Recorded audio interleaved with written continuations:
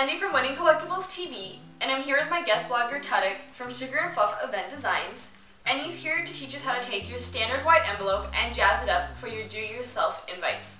Now this is a really great tip because the standard white envelope is about half the cost as the metallic or glitter finish envelopes. Cool, thanks Indy for having me on the show. Um, normally, you'd like to start off by going to your local hardware or arts and crafts store and purchasing cans of spray paint. They generally range from 3 to $5 each. And today I'm using a shade of Brilliant Metal and Krylon Glitter spray. Uh, the metal to give the metallic sheen and then finishing it off with the mist of glitter.